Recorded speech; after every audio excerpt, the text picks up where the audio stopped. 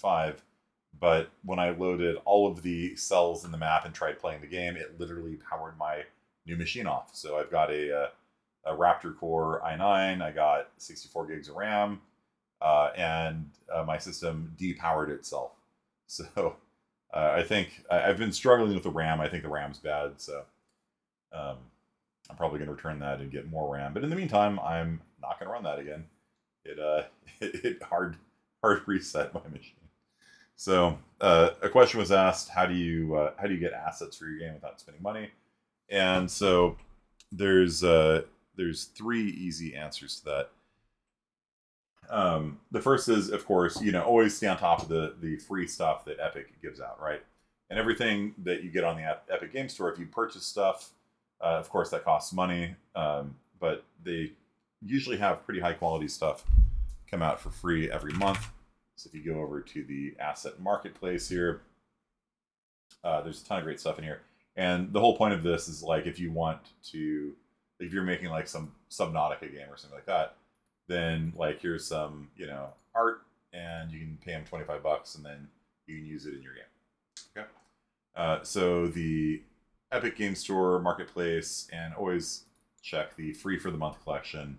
I've been looking at the animated rain. That's actually really cool stuff let me add that to fall 2022 and see if i can do something with it oh it's already in there sweet um, so uh, really cool stuff here i'm gonna mess that i've been I have been messing with it for a while. Uh, another source is Humble Bundles. So uh, Humble Bundles have, let's see, actually I can just show you the downloaded version of them here. Uh, so C Drive, Unreal Projects, Art Assets, uh, Game Textures. Uh, so there's, um, let's see here, Actor Core, Avatar,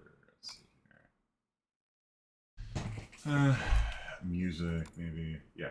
So these are all albums of music, right? So each one of these things is like a gig of music, right? So if I want to have uh, some sort of reggae music in my um, in my game, I can extract it and um, over there so you can see what's happening. So I'm extracting the reggae soundtrack, and I get all these things off Humble Bundles. And so basically, they're all free to use in your in your video game. Uh, and then we've got get ready. I don't know. So all this art here, you know, I can I can use. And so Humble Bundle, uh, they come out with a game dev art pack, music pack, um, like every two three weeks, something like that. So this is a great place, and I, I've got on my computer here. I've got just so many different Humble Bundles of stuff and a lot of the stuff is the things you don't really you don't really think about. So games, books, software. Let's see if software has it. Mega Music Maker, low poly 3D bundle, um, real world Unreal bundle. So let's. What are you guys interested in? The low poly or the uh, realistic? You guys tell me.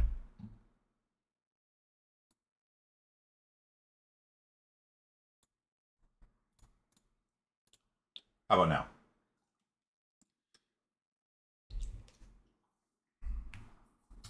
Low poly it is. Okay, so we click on that. And then they have different sizes of bundles. It's $1 and you get all this stuff. So like even if you're like a poor college student, like you can afford a dollar. It's $20. Again, it's starting to get into the pricey territory for all this stuff. And if you want the whole set, it is $25. And you get 29 bundles of art and stuff like that. So you can look at the um, uh, different things that are inside of there creatures, humans, uh, characters, fantasy weapons. And so basically, this will just flesh out your game, right? Because if you're making like some sort of like medieval game and you want to go with that low poly aesthetic, then uh, which kind of looks a lot like Warcraft 3, doesn't it, huh? doesn't it? Hmm. You know how I was saying earlier that, uh, that some of my art packs were clearly inspired by Warcraft. Uh, yeah. Hmm. Yeah. there you go. So there's one for sale right now, inspired by uh, Warcraft. Uh, probably, yeah, looks a lot like the undead. Uh, race in World of Warcraft or Warcraft 3. Um, yeah, so if that's if that's your cup of tea, you can buy that, and then you get like 30 asset packs for a really, really low cheap price. This, oh yeah, uh, this I was looking at actually. So this is not actually realistic graphics. This is real world. So this is a engine that um, you don't actually get it. So like I, I didn't actually buy this package because it's expensive for one thing. It's thirty five bucks, and it's all it's only like a three day, uh, three week, three month trial, and then another three month voucher on top of that. So you're not actually getting the license uh, for thirty five dollars. You're getting a essentially a three month trial and a three month ex- extension on it with a couple art packs. And so the art packs kind of look cool, but this is useful if you want to make like your own Pokemon Go or um, uh, Ingress or uh, one of those other games where it uses the GPS location that you're at. And so this is an engine that allows you to tie into Unreal Engine 4, not 5. They don't have a uh, Unreal 5 yet, but this is actually like your, you know, your hometown. These this is your street, you know, and so you can feed real world location data into Unreal Engine, and then you can make a mobile game. That's obviously the Burj, uh, not Burj Khalifa. It's the um, uh, it's Dubai, but uh, uh, it's like the Palm. Did you guys see that? Uh, see, there, yeah. So that's real life, right? And then in the game, that's what it looks like. It's the um, it's just called Palm Island. Okay, it's just called the Palm Island. I thought there was something more fancy than that. Okay, cool. So yeah, so with these bundles, uh, in, in this case, I mean, they're they, I think they have a free trial, so you actually, I think you're actually paying money for something you'd actually get for free, but they don't have Unreal Engine five support, so um, I didn't buy it. Um, I'm I'm kind of a sucker for these things because I'm like, oh, that's really cool. I love I love just downloading things and playing with it and just trying to see what I can make. Uh, but without Unreal Engine five support, I'm kind of like, so uh, right. So asset store humble bundle and then the third bit of advice that i have for you is the uh, there's all sorts of free game assets out there right? So free sounds is one we looked at before. And um, free sound sorry it's singular not plural. And you basically have to log in. That's that's the only trick with freesound.org is that you have to be logged in to download things that's it um, and then every time you find a, a, a wave file you like then you have to check the license. Okay. So it's a little bit more annoying than the humble bundles because with the humble bundles or with the asset store, it's yours to use. Like you want, you've handed money to them. You can use the sound and art and graphics. Um, you want to have a health bar that looks cool. You can download art assets that make your health bar look like dripping blood, or uh, you know, put a wooden frame around your character portrait, or things like that.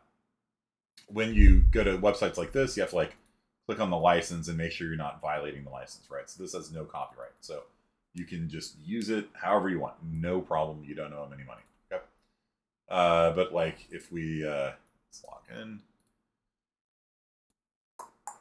uh, a lot of Creative Commons works will have um, like attribution, you know, on it. So let's see here. Uh, laser, laser beam. Heavy laser cannon. Let's see. So you can you can search right here. Yeah. So you can search for which kind of license it's on, right? You cannot use these for any commercial game, Ramirez, right? Any of these things that are licensed as non-commercial, uh, you cannot use them for commercial purposes, all right? So you can't use them for your game. So you have to like every time you do a search, you have to like kind of look at these things and pay attention. And if it's attribution, then you have to make a note, right? That this, uh, you know, you got this laser beam sound from uh, Flo Rayan. Uh, you have to that that thing. Wow, one and a half stars. Yeah, okay, fair enough. Wow. Okay. Um, it sounds a bit like a laser room. It hurts. It sounds like someone's scribbling red hot nail across my eardrums. This cost me an ear point to go hearing check. Ever heard of operas? my ears are bleeding.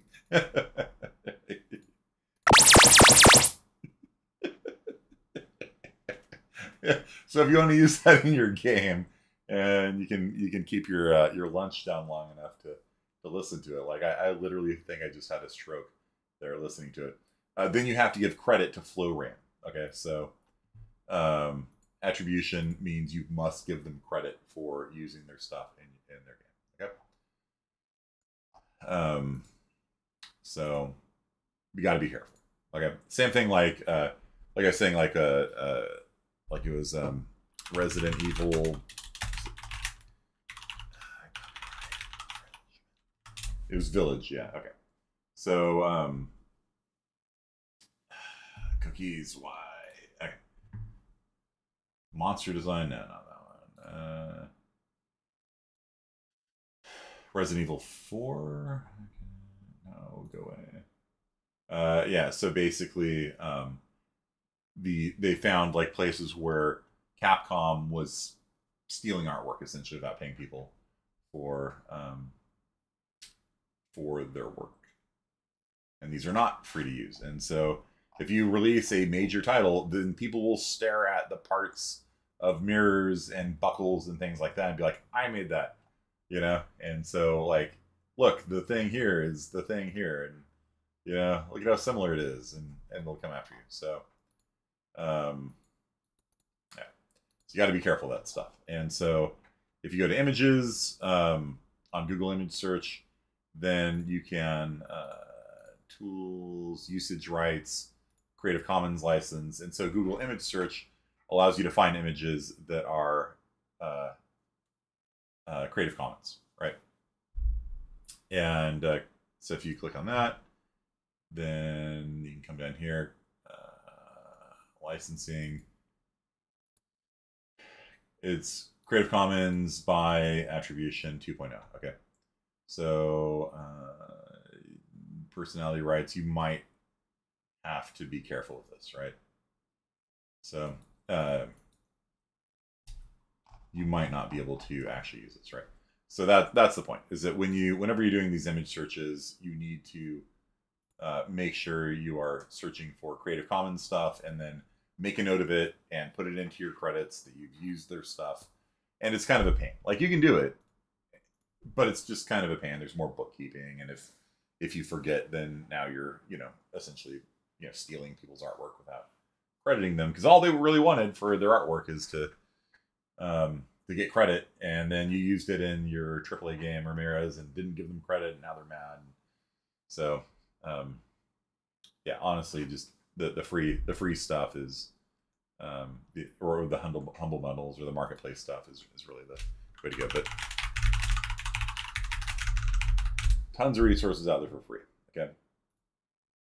And uh, tons and tons and tons and tons and tons and tons and tons and tons of stuff out there for free. So um there's it's in fact so easy to get free stuff that there is um a whole genre of game category on Steam that you know people call like shovelware, where basically they will purchase um, you know the art asset to a barn or something for five bucks, and they purchase some zombies for like five bucks, and then they slap uh, a game together in less than 24 hours and you have two guns to choose from and you've got zombies that spawn in this barn and you shoot them and it has a score that ticks up and that's the entire game and uh, they charge two dollars for it you know and then they sell 300 copies and they just made 500 bucks in a day. Not bad.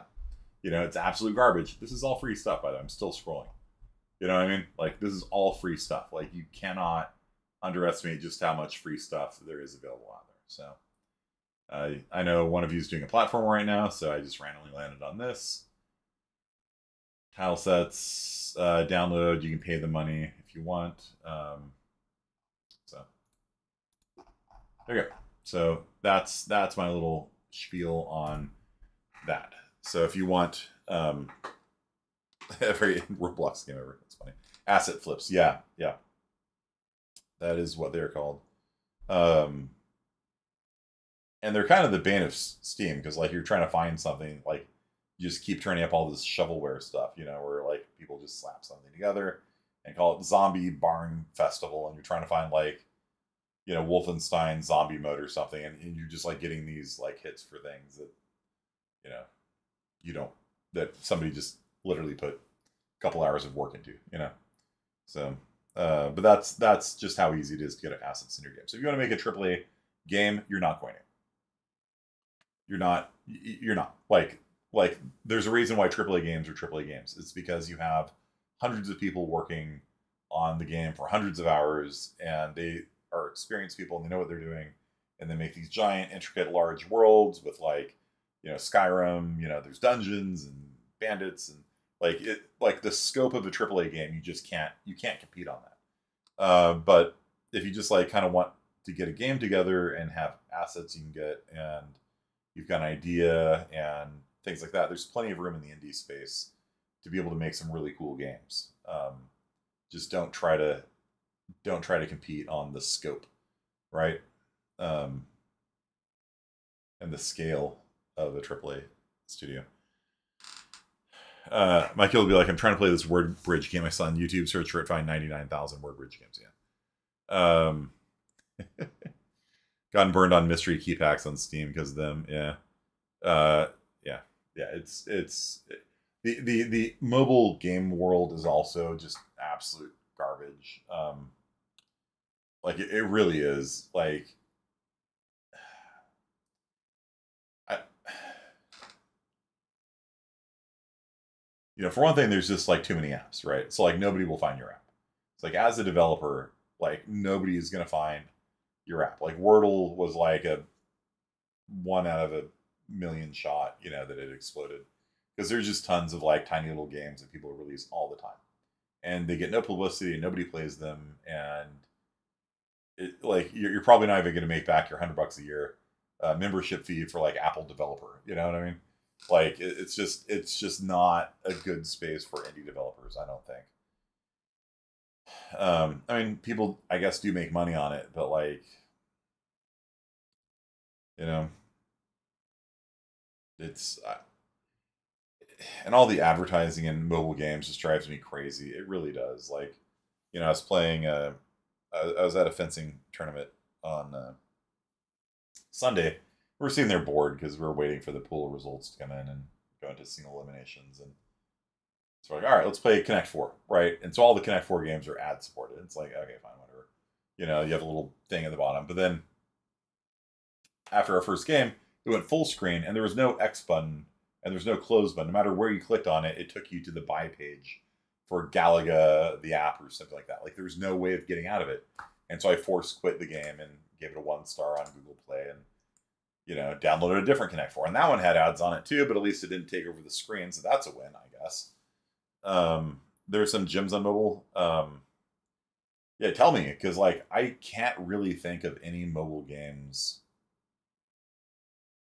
ever that I would say are good. like I, I, I still play Pokemon Go, kind of, um, but like uh, I consider Pokemon Go an exercise app. I don't consider it a game, really. Uh, Clash of Clans, okay. Um, Pokemon Unite, the the yeah, but like man, it it is uh you know people will just do shovelware games on mobile all over the place. Uh, too many ads. It's just it's just a rough environment to be developing in. And so like if you want to be an indie game developer, like I think honestly PC is probably easier than than mobile. Um, just because like if you're a AAA studio, you can pay for the advertising to get people to start playing your game, and then you you're trending now. Now you're on the top, you know, ten list. Now the Google Play algorithm is recommending that you play Pokemon Unite because you've played these other games. Uh, once you get the ball rolling, yeah, there's lots of money in mobile. Like, don't get me wrong. Just as an indie developer, it's like, how much of your money do you want to spend? Do you want to spend hundred thousand dollars marketing your game? Because I don't. I, I, like having my hundred thousand dollars and not spending it on marketing on a crapshoot. You know, so Um, interesting, interesting. Yeah, Monument Valley, interesting. Okay. Um. So. Yeah.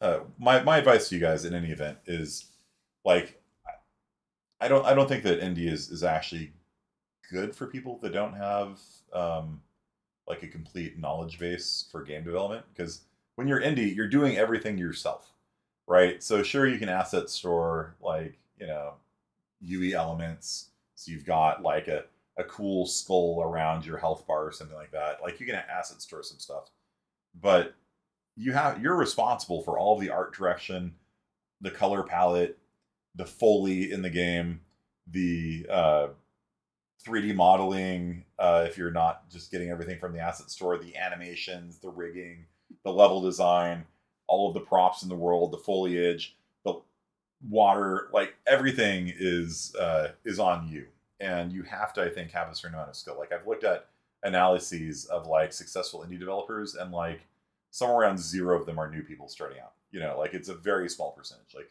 these successful indie developers are people that have worked in the games industry for like, you know, five years, seven years, ten years, something like that. And then, like, if you look at the curve of like success, you know, like uh, money sold versus years of experience developing, like the new indie developers make like pretty much nothing. Like it's it's people that work at the AAA studios. They get their skill set together, then they go and they start their own game studio that that have a chance of, of, of winning. So do everything, get money, no share money. Yeah, it's true. Like when when you run your own company, you get to keep everything. That's one of the reasons why I started my own business. It's like for one thing, I like my boss, me, and the other thing, like all the money the company makes, I get to keep. You know, I mean, there's business expenses, and I have to pay other people and stuff like that. But it's it's nice when you know you can actually keep the money that you your product has made, rather than you know the company paying you an hourly wage and then they you know they get all the upside on it. So. Uh, uh, sculpting and sorting hand. Not who says this for class and use for my priorities. To use a cone and flat cylinder. That's funny. so uh, yeah, that's fair. Um, although I don't know, Megan, you've been really killing it this semester, so you know, um, I, I like like I'm I'm not telling you to actually sculpt something because that's way overkill. I'm just saying, like coming from you, I would not I would not be surprised because you you've been doing a really fantastic job all all semester. So um, but yeah, like I, I just wanted to be a game programmer, you know, and so I use asset, you know, uh, packs and, and things like that because I don't want to be responsible for drawing a picture of a mouse or something like that. You know, like that's just not not what I signed up for. I want to be writing game code, and that's what we're going to be talking about for the next half hour or so. Okay, so I'm going to stop this now. Long story short, asset packs. If, if you're like me, you're just a lone, you know, programmer, developer making games for fun, asset packs, the way to go.